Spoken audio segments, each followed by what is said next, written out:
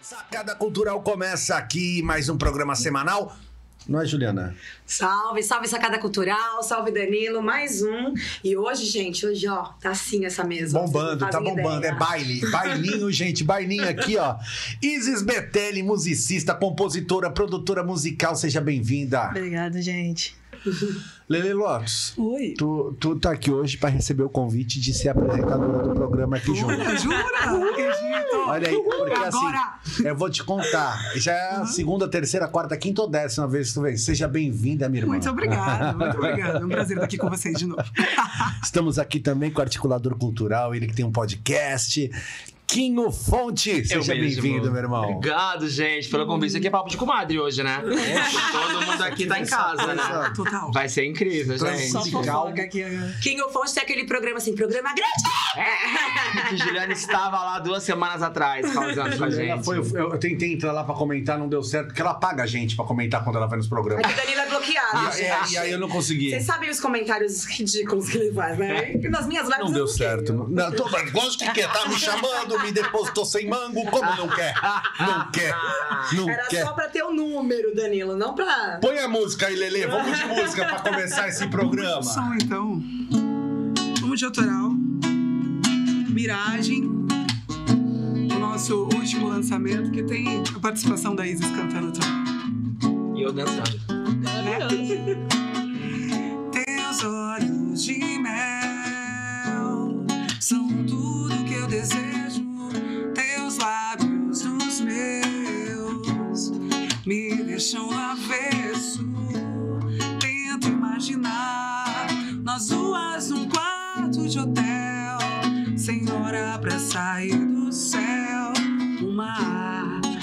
sabe amar. Tento imaginar viver só de romance, felicidade ao nosso alcance, sem se estressar. É que quando tá perto, me cobre de afeto. Emociona as coisas que você me fala, são tantos detalhes, parece miragem. Encontrei o que eu nem procurava. Dia esse amor só cresce. Eu tô tão afim, vê se não me perde. É que quando tá perto, me cobre de afeto.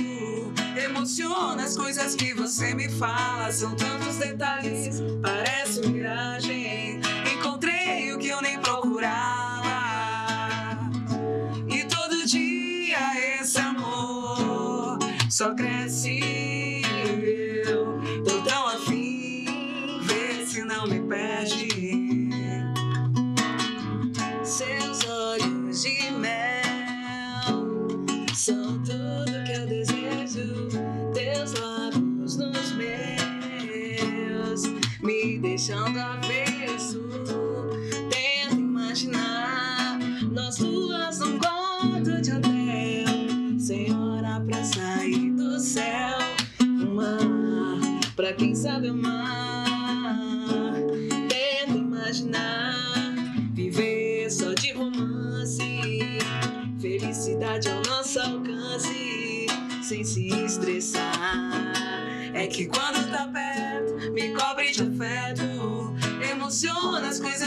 você me fala, são tantos detalhes,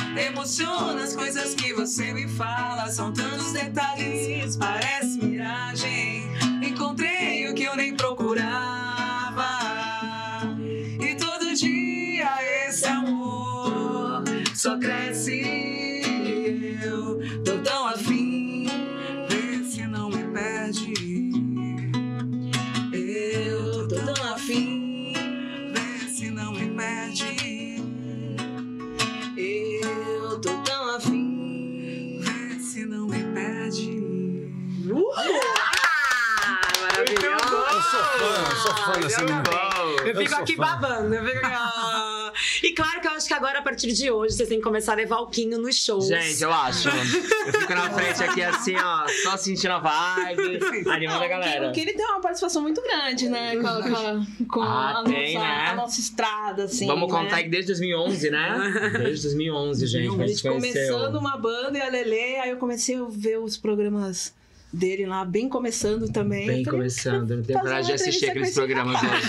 Não tenho Faz coragem. parte, é bom, é bom, é bom. Às vezes é bom. Às Eu tava pensando nisso vindo pra cá. A gente se conheceu em 2011, por acaso, na internet. E de lá, a gente não se largou mais. até Quando a agora. internet nem era esse boom, né, Quinho? Nem tinha É. esse rolê, assim, a gente meio que se ajudou na época, né? Eu, eu, eu, eu precisava de pauta, elas precisavam também de espaço, a gente se juntou, só que aí veio pra vida real, né? A gente virou amigos de vida real, e aí, enfim, várias histórias aí. E olha isso, a trajetória e todo mundo onde tá hoje, né? Bonito ver Ai, isso, desculpa, né? né? Tá patamar que é outra coisa, né? Hoje ele faz a gente pagar. É, hoje tem que pagar, eu tô do Pix hoje, né? Quinho- O Quinho, o Quinho sonhava em ser apresentador. sonhava não, ainda sonho. não, não. né? Você é apresentador. Muito obrigado, mas Você é estamos no apresentador. caminho. Mas eu sonhava desde os 8 anos de idade. A minha, a minha, a minha brincadeira, quando pequeno, era brincar de ser apresentador. Sabe que eu me identifiquei com isso porque a brincadeira, quando desde pequeno, era cantar com uma escova de cabelo na mão, achando que o quarto tava lotado. Ah, Sério? que, louco, cara. Eu botava a música e cantava sozinho, né? Não te contei isso, não. Graças a Deus, não. Tá merda. Eu não sabia. Era, virei Senão eu músico. Dava uma escova no microfone, né? Muito mais barato. Puta que. As minhas, as- os, os meus convidados, meu programa era as 10 mais da rádio. Então eu tinha um rádio grande, ficava gravando as 10 mais e rezava pro locutor não falar alguma coisa em cima da música, sabe? Pô, se eu te conhecesse naquela época, eu ia fazer o seguinte: às 10 mais é Danilo, Danilo, Danilo. E você Gente, apresentar. pronto, já tinha música é certeira toda semana. Cara, Gostei desse rapaz. Fechado. Vamos fechar isso aí. Muito bom, Quinho. Ô, Quinho, me fala uma coisa. Eh, quando que, como que foi isso pra você? Eh, quando você começou mesmo a no, no jeito profissional de fazer o, o seu Uhum. podcast, de fazer seus programas, tudo. Como que foi isso pra você, esse contato com o público, essa mudança, né? Porque é uma mudança. Você começa a fazer, você se torna uma figura pública, você se torna uma, você se expõe, Uhum. basicamente, né? Uhum. E como que foi isso pra você Eu sou um cara exibido, né? Eu sou um cara exibido. Então, aparecer pra mim. É, tá, tem uma câmera aqui. Eu sou muito tranquilo em relação a isso, mas me deu um pouco de receio no começo de ter pessoas que me conheciam com intimidade e eu não sabia quem era. Né? Às vezes eu sair na. Não que tivesse grande coisa, mas sair na rua e alguém te reconhecer e você olhar e a pessoa vir falar com você e você ficar quem é, quem é, quem é, quem é. E você não saber quem é aquela pessoa e a pessoa te conhece com intimidade. Porque os meus programas nunca foram muito. ah, a gente nunca teve uma coisa muito séria. Era sempre eu ali. Então eu sempre contava alguma coisa da minha vida, enfim. Então, ou- depois que veio esse lance de Instagram, de rede social, isso aumentou muito. Então as pessoas elas se sentem íntimas de você. Então quando elas chegam eh, na, na, na, rua, elas te abordam com uma intimidade que você não tem com elas. Mas foi sensacional. E assim, a gente tá nesse caminho já há um- desde 2010, como é que eu comecei a fazer o programa eh, na internet, já mudou muita coisa ao longo desses anos. Hoje a gente tem um perfil mais programas de entretenimento, não é mais podcast. Tipo, quando a Lelê foi lá, era um podcast sentadinho na mesa. Hoje é um programa mais diferente, que é o que eu tenho tesão em fazer. Que é, que é em pé, com quadro, com gente, com plateia, interagindo. Eu gosto disso. É, mas hoje é, hoje é mais tranquilo, hoje é mais gostoso de fazer, hoje eu levo mais uma boa. Né? Ontem nós fizemos um evento aqui na praia, tinha o pessoal na praia. Oi, Kim, tudo bem e tal? Então, é, é isso, gente. A gente trabalha pra isso, né? É, não, não tem como você se expor e não querer que tenha esse retorno, né? Falar, não, É. ninguém vai me ver. Não, gente, você tem 50 mil seguidores na rede social, alguém vai te reconhecer na rua. E alguém vai falar o seu nome. Então, pra mim, tá tranquilo. Gosto, né, meninas? Me conhece aqui. né? Maravilhoso. Intimidade, isso aí até acontecia que a gente Não, tocava total, total. todo, toda semana nos mesmos lugares, aí. E é aberto ao público, então você não tem controle de quem Sim. que tá lá, quem não tá. Então tinha gente que encontrava com a gente. Oi, tudo bem? Então lembra aquele dia não sei o quê? Eu pensando assim, quem é você? Não pergunta meu nome, não pergunta se eu lembro de você. Adoro aí- quando isso acontece. Vocês sabem, vocês duas. Eu tava vendo o projeto de vocês, Rita Ana Cássia. Não, não, não. Pelo amor da deusa, Cássia. gente. Eu mandei o nome direito. Eu juro, eu sou produtora disso. Não me faz passar vergonha. Não É três? Ana Rita Heller, o nome do projeto. Ana Hum, Rita Mas não são as três? Com as três, mas. Não, eu sei, né? Não, o projeto eu sei. A Ana, a Rita e a Cássia. Não são as três? São as três. Sim. Então, o que eu ia falar.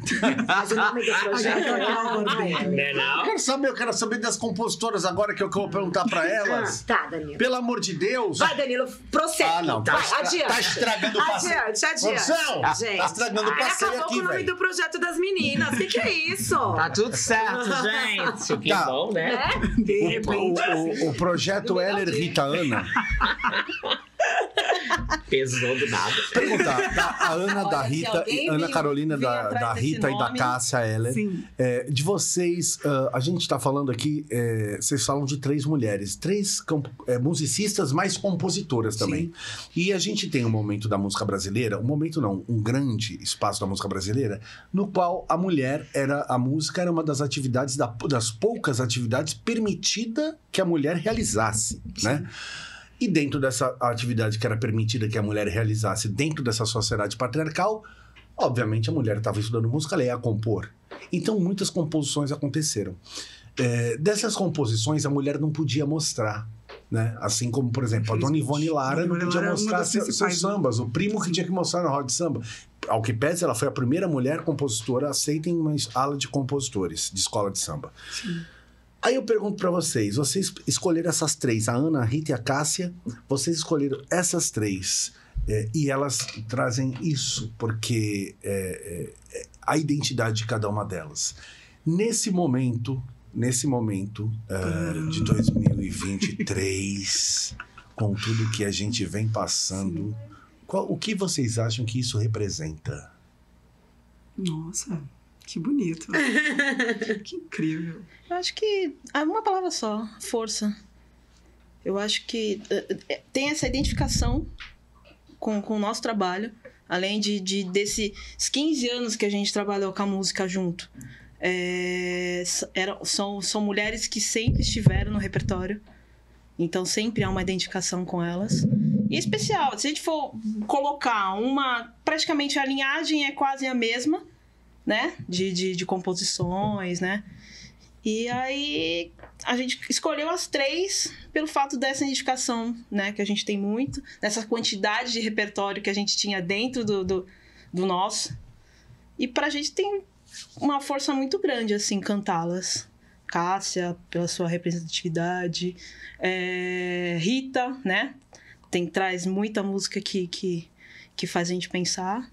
O romantismo da Ana, né? Que é, às vezes tem horas que dá vontade de chorar, Dá vontade ouvindo, de chorar, confesso. Mas é a força das três. É mágoa. Nossa, jamais essa. Não gosta de falar, né? Você vai buscar a, aquela, aquela, bem, a mais, né? A mais, pra chorar é nesse mesmo. lugar sabe? que o Danilo vai, assim, né, nas entendi. músicas. É aquele lado B. Ele adora esse lado. Mas eu da- concordo plenamente com o que ela falou, né? É referência das mulheres que foram à frente, né? Se posicionaram dentro de tudo aquilo que elas quiseram e tiveram a possibilidade de criar. Por exemplo, né? A Cássia, a forma como ela canta, só existiu ela mesmo fazendo aquilo. A Rita, na época dos Mutantes, e até antes, lógico, de existirem os Mutantes, dela também poder sair de dentro deles, né? E fazer outro, outro tipo de trabalho. Cada uma delas, a potência que elas têm, tudo que elas trazem pra gente, era impossível viver essa vida sem criar um Ana Rita Heller. Não dava, não tinha condição. E ele acaba sendo uma saudação aos nossos 15 anos, né?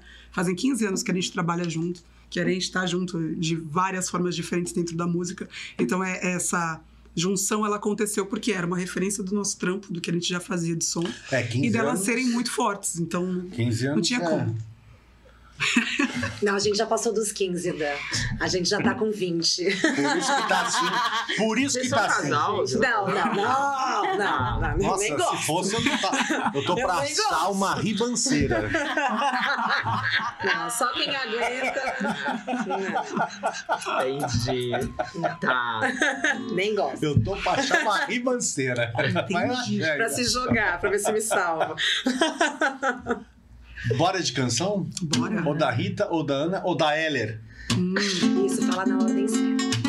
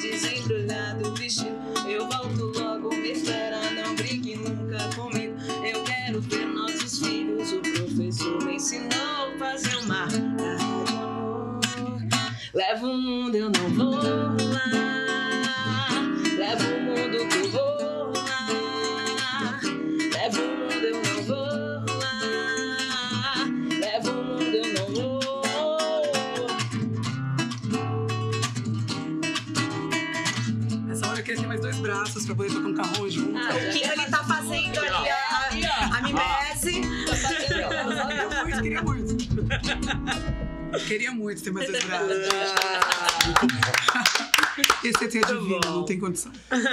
Isis, quais são suas referências musicais?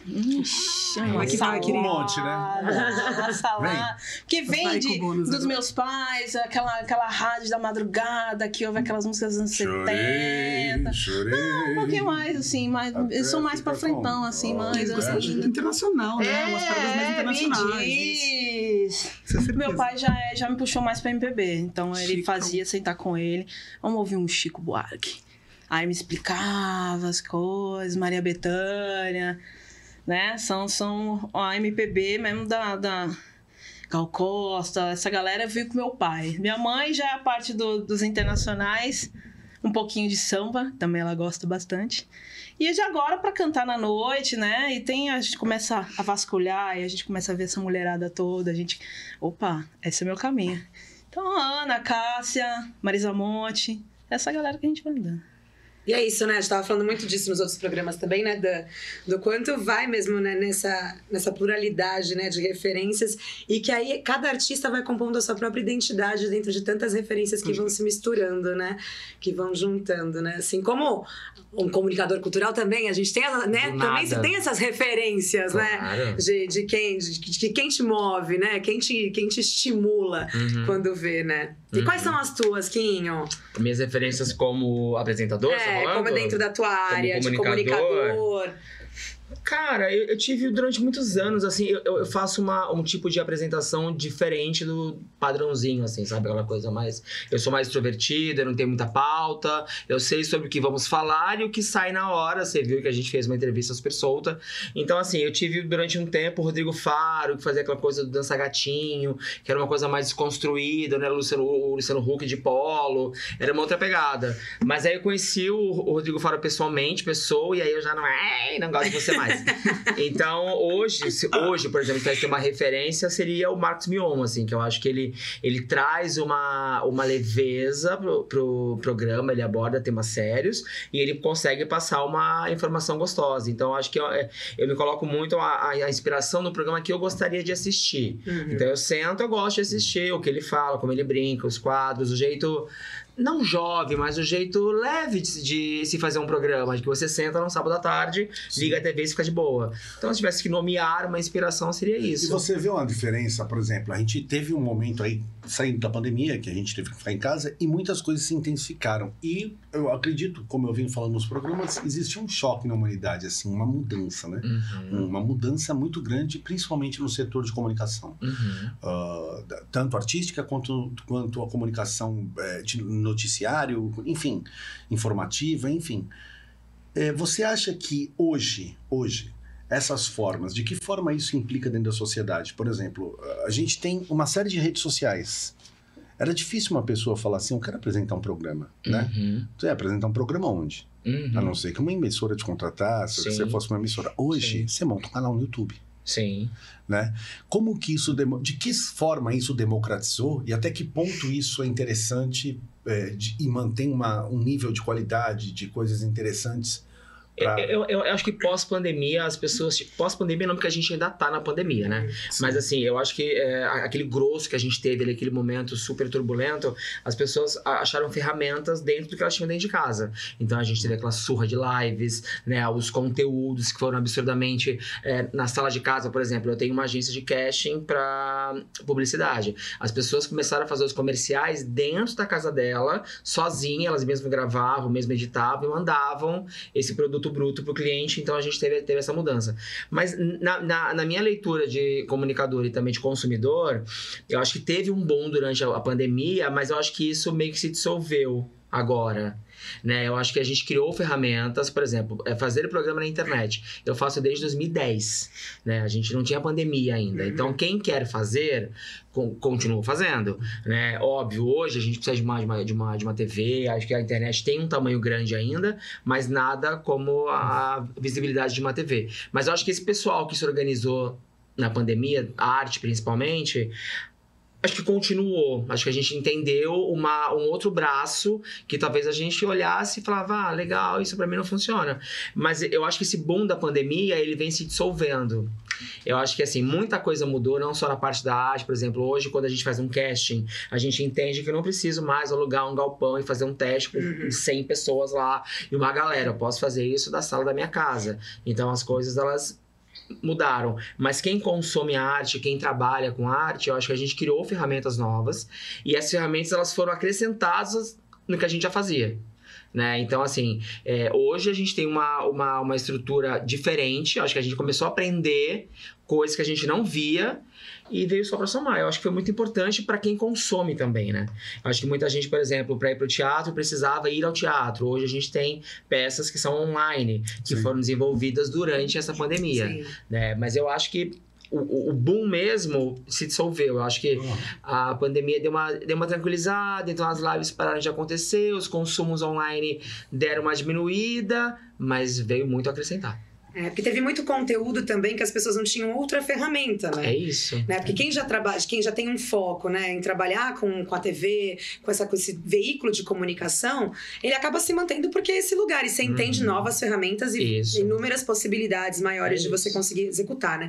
Agora também existiram, tava um grande boom e era muita coisa, muito conteúdo o dia inteiro, né? Diariamente muito conteúdo sendo ofertado, porque também todas as outras áreas ficaram sem ter pra onde Uhum. correr, né? Tiveram que migrar para esse lugar. Que aí, conforme agora a coisa vai se dissolvendo, as pessoas já percebem que não, aqui meu trabalho não é para esse, não é pra esse lugar, né? Uhum. Não é para esse local. Então, isso que a, que a gente também fica, vai, vai descobrindo, né? É, Até, até- porque teve muita crítica, né, desse excesso de lives, muita gente perdeu um pouco do, do senso, da, da noção. Eu acho que foi legal para os artistas, a gente tinha um consumo, aí daqui a pouco começaram a enfiar a, a tal da divulgação paga, daqui a pouco tinha é, patrocinador, e aí você entrava no Instagram, tinha 60 pessoas fazendo live ao mesmo tempo, É. dos mais diversos conteúdos e às vezes sem sentido nenhum. Então você vê que perdeu um pouco do foco. Assim, a galera foi fazendo Uhum. e aí depois algo que era bacana, que salvou a pandemia,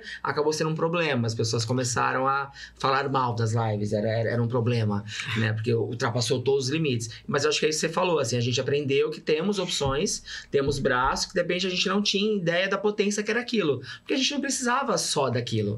E a gente fazia o trabalho ali e tal, não sei o que, e tínhamos ali. Mas a pandemia acho que trouxe essa consciência. Podemos fazer aqui, mas também podemos fazer aqui. Dessa forma a gente também consegue entregar e também consegue chegar no público que a gente quer atingir. Exato. Eu vou trazer para essa conversa aqui. Eu costumo dizer que quem tá na cabeceira paga a conta, ele vem para a cabeceira da mesa. É, meu amigo Tiago, banda Noturnal, seja bem-vindo, meu irmão. Usando o cabelo. E aí, tudo bem, galera? Vocês estão me ouvindo bem aí? Estamos sim. Oi, muito Thiago. Olá. bem, muito Oi. bem. E aí, beleza? Muito boas músicas aí, parabéns. Valeu, obrigadão. Aí arrebentando. E olha, ele bate palma muito bem, dança muito bem também. Obrigado, Thiago. Tiago, o que, que vai ser isso, cara? Primeiro que eu sou um admirador do metal, né? Eu, eu, eu, eu, eu fui fazer, eu fui fazer, eu me formei em história por conta de um vocalista do Iron Maiden, que é o Bruce Dixon. Então, eu, você vê como eu sou. Eu, eu sou influenciado muita, em muitas coisas, por mais que muita gente não saiba, eu sou bem influenciado pelo heavy metal, eu adoro. Agora, me fala uma coisa, como que vai ser esse evento, com a- vocês tocarem com o Paul, eh, fazer essa turnê com o Paul Diano, que foi vocalista do Iron, primeiro vocalista do Iron Maiden, e como que vai ser isso? Como que vocês estão encarando isso? Bom, ah, boa tarde a todos aí, obrigado pelo convite aqui no Sacada. É um prazer estar aqui. E obrigado às palavras aí sobre o heavy metal. O heavy metal influencia muita gente, a gente é, e as pessoas, né, o mainstream, né, essa palavra que ficou moda hoje em dia, mas a gente conhece há algum tempo já, principalmente nós do underground, é, sabe que o heavy metal influencia muito mais do que todo mundo possa imaginar, né? É um estilo que ele independe de moda, né? Enquanto você vê na televisão e na internet, muita coisa, inclusive que vocês estavam conversando agora sobre lives e tudo mais. É, tudo que entra e sai na moda, o metal, a parte boa, é, uma das partes boas do metal é que ele simplesmente não, nunca esteve na moda. Né? Então ele não é, independe de qualquer, qualquer coisa que você fizer a qualquer momento, você tem as pessoas que amam o metal independente de qualquer coisa que possa estar na moda, entre aspas, acontecendo. E isso é muito bom para nós metaleiros. Esse é um lado bom, né? Tem, obviamente, que eu posso ficar Uhum. citando vários lados bons e ruins, igual tudo na vida, mas é, indo de encontro aí ao que você me perguntou, a gente está constantemente tentando nos reinventar. É, justamente por não ter esse lance da moda, a gente também tem que tomar cuidado para não ficar no, no, no mesmo, cair na mesmice sempre, né? Tipo, você toda vez que ouve falar de uma banda, tá fazendo aquilo. Toda vez que você assiste a banda, eles estão fazendo aquilo. Então, é uma, na verdade, é uma briga aí pelo equilíbrio para você ter o que você quer fazer de verdade e o que você quer que as pessoas achem que você está fazendo, né? Na verdade, isso pro artista em geral é um, é um meio termo bem difícil. Mas estou dizendo isso porque o, o Nocturnal, minha banda, a gente já fez muita coisa eh, interessante, inusitada. Inclusive, recentemente fizemos o Tempo Não Para com, com o Ney Mato Grosso.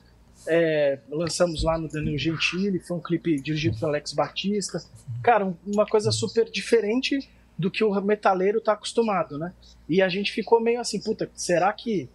Como será que vão receber, né? Pô, metal com, com Ney Mato Grosso e tal.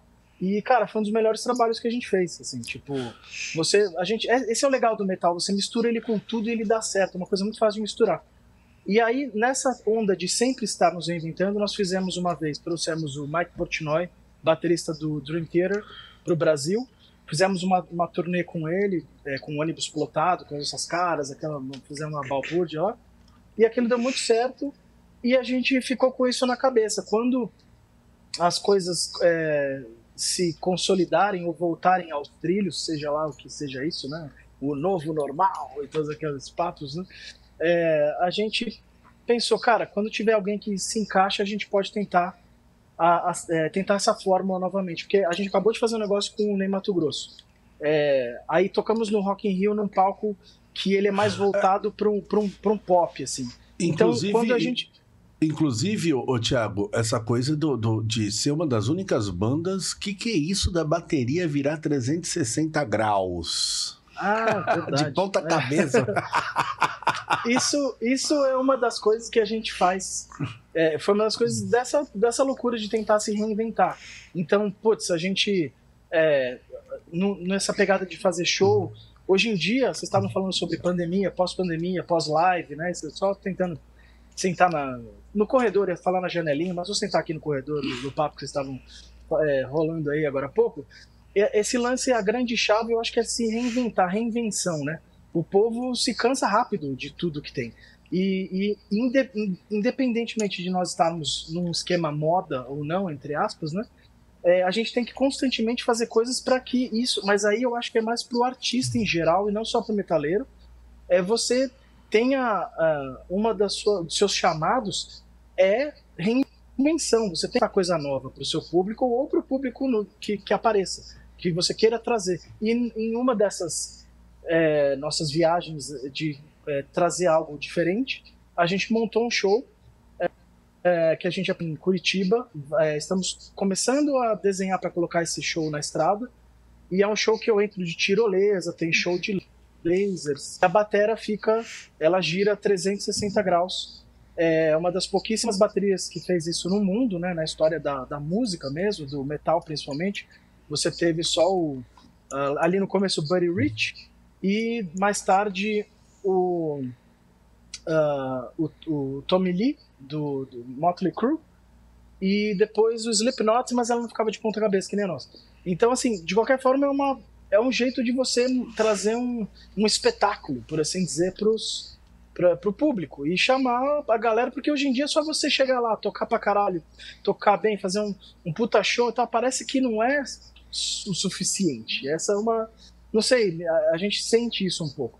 Então, essas corridas por coisas inusitadas. Fazer um som com o Ney Mato Grosso. é, a gente fez um DVD na Rússia, gravamos um DVD na Rússia. é, isso é, antes da guerra, né? Meio que fudeu Sim. um pouco o nosso plano. Exatamente. Mas, Eu ia falar A pra gente tu, não- calma, não vá pra lá agora não, rapaz. É, é. e o pior é que a gente tinha uma tour pronta pra agora, pra lá, né? Já tava marcada da época, a gente foi a outra vez lá. E fudeu. É, Mas- pois é. É, então, mas assim, a gente fez um DVD lá, uma coisa legal, a gente filmou um DVD com o nosso primeiro show que a gente se encontrou é, mais antes, um pouco mais, quando eu tava no Xamã, uma outra banda que eu cantei. É, eu estourei uma taça com a voz no, no Fantástico. Ah, a gente já fez uma turnê com orquestra em, é, em Praga. Então, assim, são sempre coisas. Toda vez que eu sou chamado é, para fazer alguma coisa, eu quero tentar fazer alguma coisa que brinde os telespectadores com algo interessante. Olha, isso eu nunca vi, nossa, que interessante. Pelo menos ele tá tentando. E Entende? trazendo isso Tipo, pra dentro do metal, né? O que é mais é, importante Exatamente. e interessante. E aí, voltando à sua primeira pergunta, desculpa, eu falo pra caralho e. É isso. Mas é pra falar, é pra falar. É, desculpa. A é, Juliana aqui fala pra caramba, fala mais que tu, fala duas vezes mais. Meu, eu tava aqui. vendo ama. vocês aí no. Eu tava vendo vocês aí no, no backstage. Vocês são um casal? Não! não, Thiago, não, não sou. A gente se odeia, na verdade. A gente... Não, tava rolando a terceira é fantástico. Não, não somos, É, tá- Thiago. Nós temos a sorte de Tá. não sermos. A gente trabalha Tava junto há rolando uma muitos DR aí, anos. eu até fiquei sem graça. Falei, pô, vou sair daqui. Rola, porque rola esse- várias, rola DR, DR ao vivo aqui. aqui. Eu tô pra achar uma ribanceira, viu? Se por aí tiver. É. Se, se essa Ah, bateria Cotia, aqui gira só 300, que tem- 360 graus se gira, tu me avisa que a gente dá uma paradinha ali na. Né? É, aproveita, Thiago. ensi- Ensina o Danilo a fazer piadas inusitadas também, porque ele é péssimo. Ele repete a mesma em Aí, todo o programa. é muito, É. é muito clima DR. Vocês que aproveitar. Total, total, gente, total.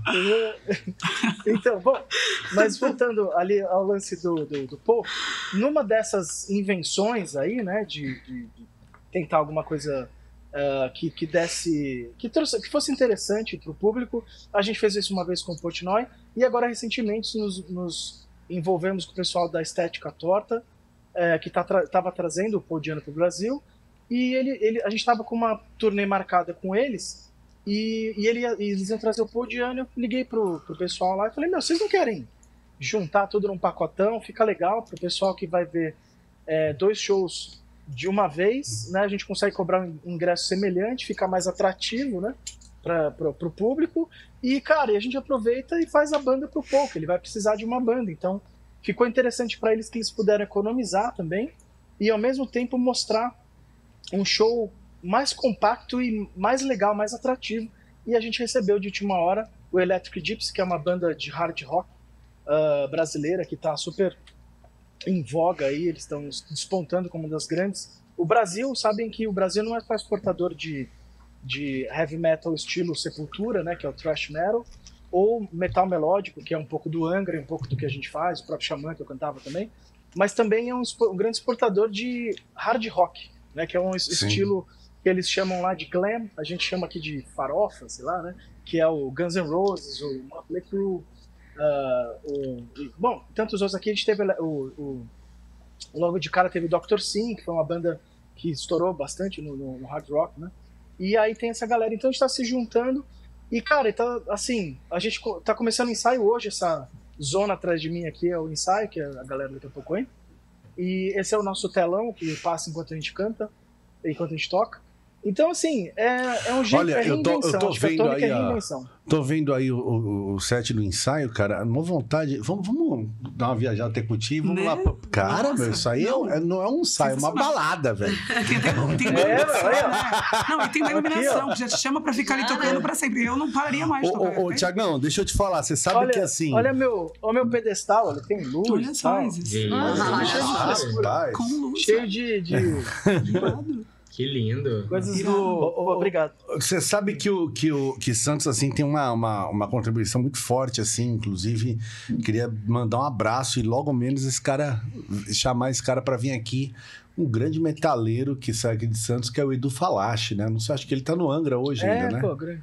Ele tá no, não, saiu. Ele, não, ele, sa- ele saiu faz uns, sei lá, uns mais de 10 anos, não sei quanto tempo. Teve o show dele ontem aqui em São Paulo. Ele tá solo. E, e ele tá solo, tá indo super bem. Ei. A galera. Ah, ele passou um legal. tempo fazendo. Vamos ver. uns 10 Tô, anos. Sabendo tô na- legal. Ah, mas tudo bem. Ele tá no Viper? Caraca, porque ele. Não, ele tá. Ele tá, ele tá solo, né?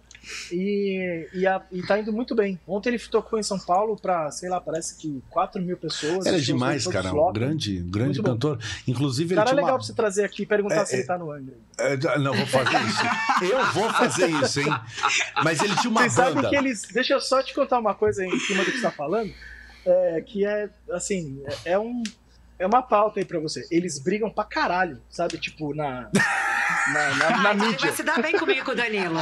Ele vai se dar bem Eu- super eu- bem comigo e com o Danilo. A gente vai entrar assim numa BR umas eterna. tretas, né? Oh, mas tu sabe Eu que acho tem, que eles estão melhorando. tem uns- um dos poucos vinis que eu ainda tenho em casa.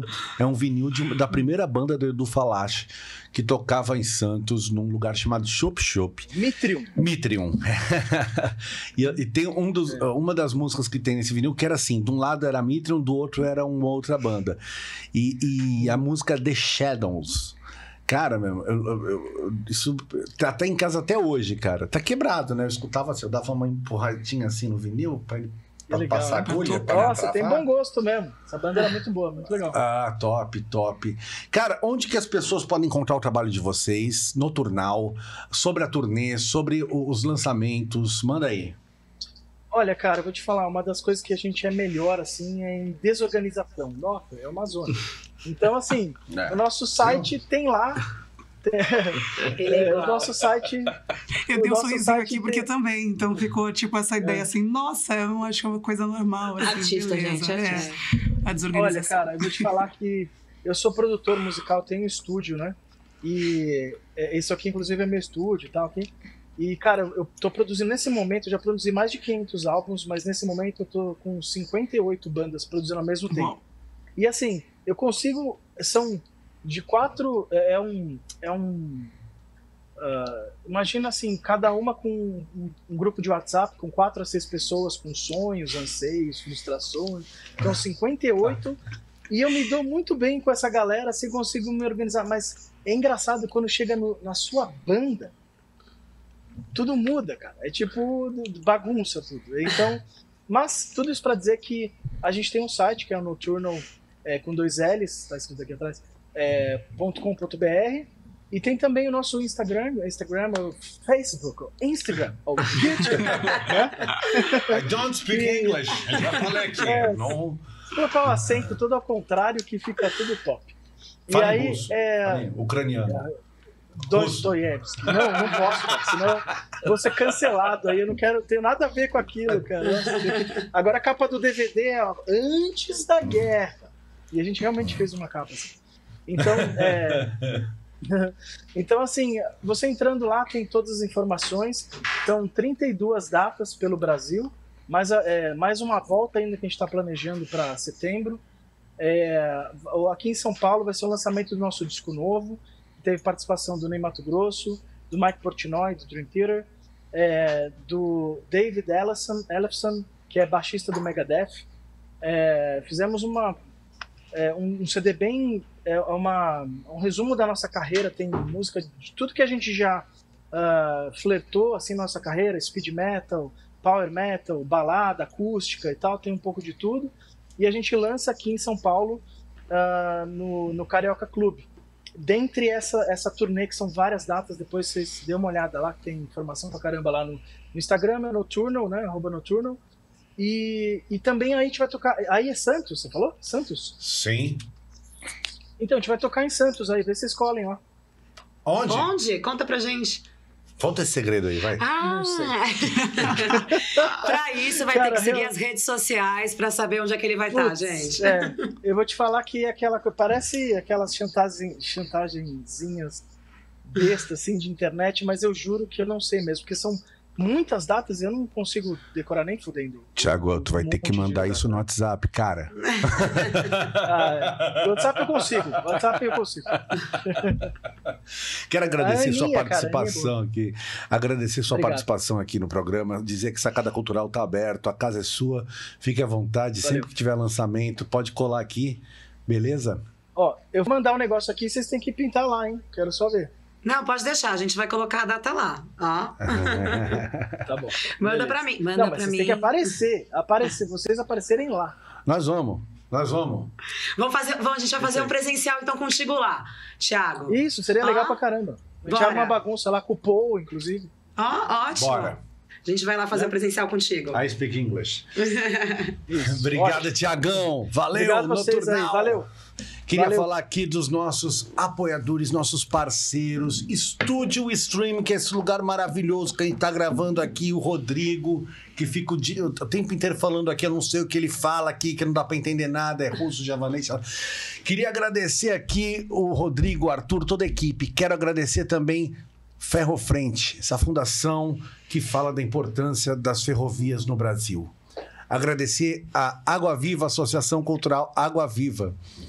E agradecer a Bordalo Cultural, que é a nossa produtora, Juliana, que está aqui. Veja.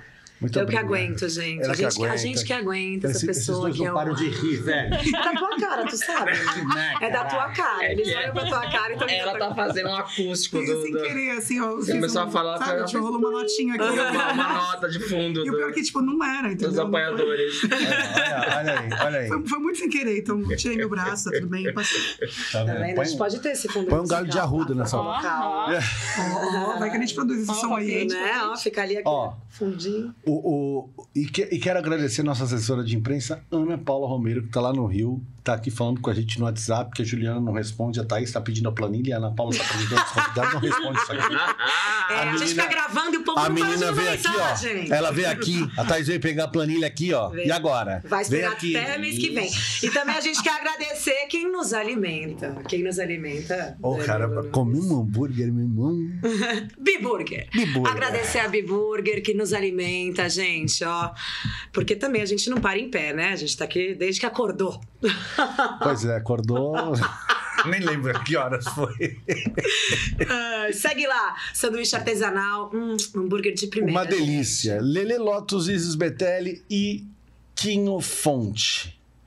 Antes de me dirigir ao Quinho, eu quero pedir para as duas mais uma canção, bora? Que legal. Mais uma. Natural? E natural?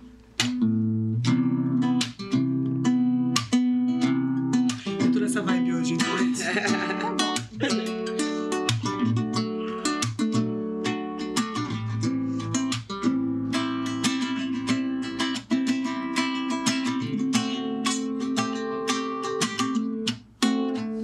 Fazer seus braços de abrigo é a melhor sensação. A conexão das nossas almas me traz paz pro coração. E o mundo pode estar caindo, tudo fora do lugar. Se eu tô contigo, tudo passa e no momento vira canção. Minha poesia mais perfeita, ela tem o seu nome. A minha felicidade, ela tem seu endereço. Os seus olhos fixos nos meus no momento que estamos juntos faz com que cicatrizes passadas virem um pretexto. De olhar na lua, fotografia perfeita. Momentos registrados que não vão pra gaveta. E às vezes nessa vida tudo foi uma incerteza. Me olha, me deseja como você faz com a cerveja preta. Então vamos viajar o mundo, ficar longe de tudo. Vai ser só nós duas embaixo do edredom. Quero toda hora, então demora, diamante raro que eu te trouxe esse som. E o foda é que ia ser tão bom que eu ia querer toda hora. Só love curtindo um som, juntinha sob o edredom. Eu nunca mais ia embora. O foda é que ia ser tão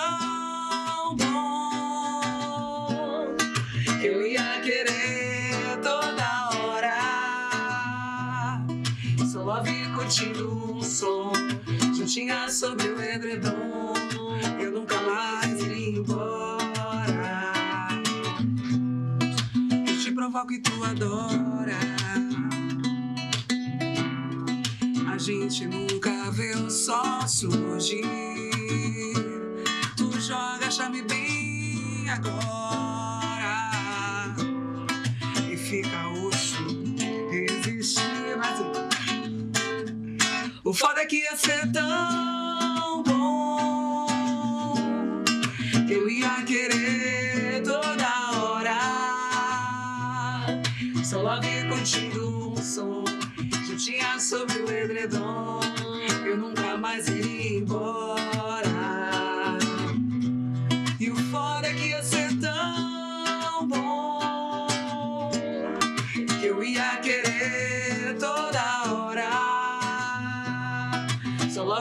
Curtindo um som que tinha só no edredom. Eu nunca mais ia embora. Ai, ai. Tão bom. Não sofre, não sofre. Não sofre. A gente vê o que tá passando na cabeça da Lele. Meu Deus, pois é, A gente cara. começa a falar, não, É impressionante, cara. Ela vai o que sofrendo, passa nessa mente? É, não, mas, vai. mas A gente é vai- sem sofrimento, gente. É sem sofrimento, tá tudo bem. É gostoso, né, gente? É, ela canta, gente, aí ela vai assim, aí você, você vai vendo assim, Não, você ela- vai criando um falando. imaginário do que tá naquela mente. Não, ela vai falando com ela mesma. Por foda de não ser tão bom. Deu merda, hein, cara?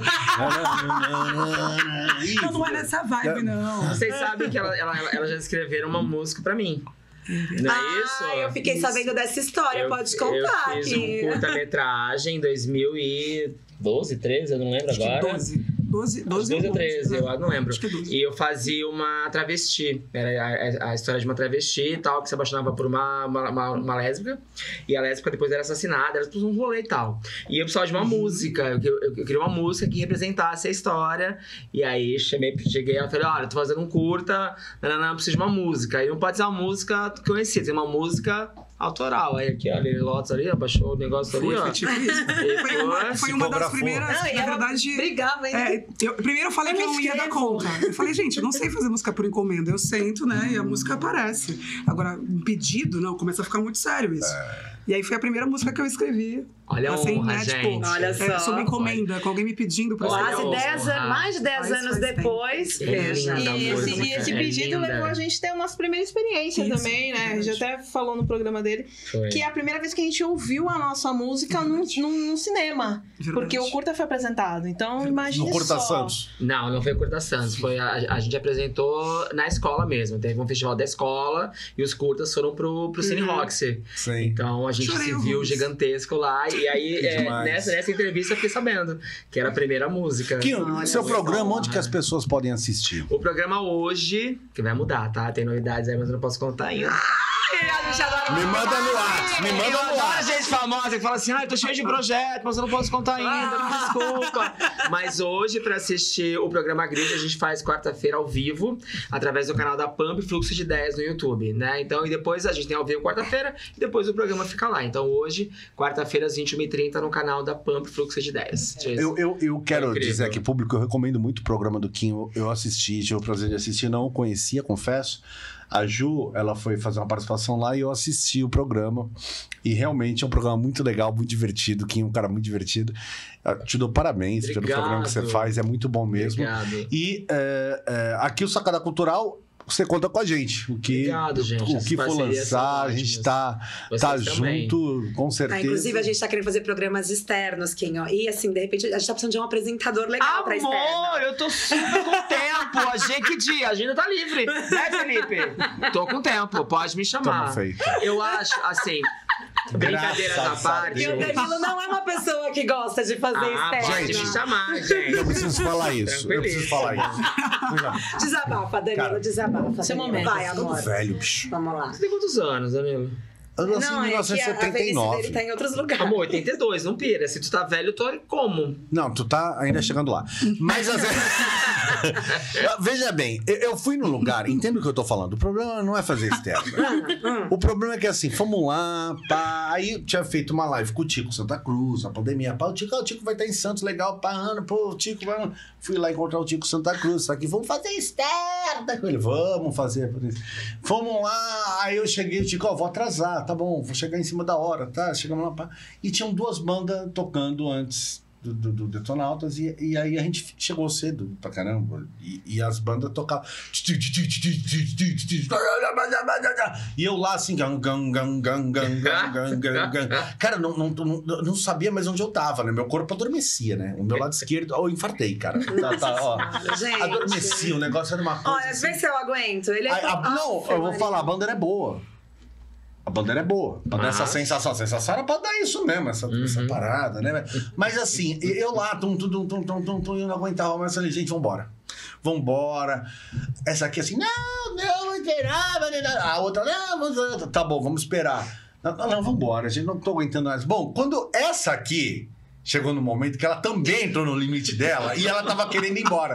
Eu sentei numa cadeirinha que tinha lá e eu parei assim, é, vamos esperar. pa- O Tico entrou, Danilo, é legal, já falo contigo. E essa aqui com aquela cara de ir embora. Eu falei, agora não adianta, engole essa cara. O cara já me viu, tô aqui. Não, mas Eu- nunca mais eu faço externa com o Danilo, gente. Nunca mais. A gente vai procurar é Quinho. perrengue Vamos certo. conversar. Porque passa que é assim, uma coisa é você passar perrengue com quem tá leve, tá de Aham, boa. aham. Outra coisa é você passar perrengue com quem tá. Fica pior. Vocês não são Fica casal pior. mesmo, gente. Vocês não são casal mesmo, vocês têm certeza. Não, a gente se odeia, mas a gente é casal. Então, Você que tá em casa vendo, gente. casal, na verdade. Vamos acham? enquete, Esse negócio, gente. me falaram uma vez, esse negócio de casal. Fala assim: eu vou casar, vai casar contra quem, velho? Quinho, Quinho Fonte, quero te agradecer você ter vindo aqui. Eu que agradeço, Muito obrigado, gente. meu irmão. A Obrigado casa é mesmo. sua, com certeza, muitas Sucesso parcerias estarão gente. aí. Eu, eu ia só falar uma coisa, eu acho que essa troca é muito importante. Eu sou um cara muito agregador. Eu acho que é muito importante eu estar aqui, vocês estarem também, e essa troca, né? Porque todo mundo se conhece e eu acho que é dessa forma que a gente vai pra frente, que a gente evolui. Então, o meu público conhece vocês e vice-versa, e elas também. E todo mundo aqui faz um bololô e é, vamos transar. Orgia total, Organizado, total. transar. Bora, bora, bora. obrigado. Carrossel de Baco de volta. Eita, porra. É, Juliana é minha parceira, minha irmã. Não somos um casal, mas trabalhamos juntos há muitos anos. Eu amo essa Pra mulher. mais de 20. É minha irmã, é, de alma, Toca né? É, muito obrigado. Toca, toca e aquele momento Cara, que cai uma momento. única lá. Isso! Tá. Dois aquarianos, o meu nem cai, gente. Ele cai porque ele tá no segundo decanato. Não, eu caio porque tem que forçar a cair, né? Senão as pessoas não estão nem aí. Entendeu? Já um fundinho, vamos- Já fico Vai romântico. lá, agora você pode dizer que eu sou sua irmã de alma. Vai, gente, Eu não quero mais. E aí, também agradecer aqui a Lele e a Isis. Obrigado por vocês estarem aqui. Essas duas são maravilhosas. Maravilhosa, sou fã demais. Inclusive, eu quero pedir aqui pra gente terminar o programa com música. Mas antes, vamos, já vamos deixar elas darem a- as redes delas pra todo mundo seguir. Redes Agenda. Tem agenda Tem aí, agenda? gente, rolando, por vai, favor. Fala aí dessa agenda. Vai, produção. Vai, vai, vai, vai, produção. Baita produtora musical, gente. É. Isis Betelli. Ela entende aquelas Deus. 54 grupos que o Thiago falou. Com Essa daí vive igualzinha. 54, né? 54. Mais. É... Lotus Lele, arroba. Isso. Isis Betelli. Ah, ah, Organização. Pra lembra? isso, a gente vai pra gente. Organização, lembra? A né? agenda tá passando aqui, ó, embaixo. Tá, as próximas Mas, datas, então, vai ser aqui embaixo. 11 de março, nós vamos estar tocando no Bangalô. Assim, juntinho, só violão e voz. O Bangalô fica na Álvaro Alvim, lá no Canal 4, em Baré, 149. A Lele estudou. Ah. Tu achou que ia pagar esse micão? Jamais. É, dia 31 de março também, nós vamos estar no Quintal da Velha com a nossa apresentação importantíssima, Dona Rita Heller. Mais uma pessoa aqui movimentada que eu não vou falar quem é, porque é uma novidade. Tem que olhar Pelo amor de Deus, eu sou ariano, gente. Eu não consigo viver sem 31, saber. No Quintal da Velha, que fica na Júlio Conceição 263. Então você que vem pra Santos, vem pra cá. Pode vir junto. Então, Sacada Cultural fica por aqui. Até semana que vem. Valeu!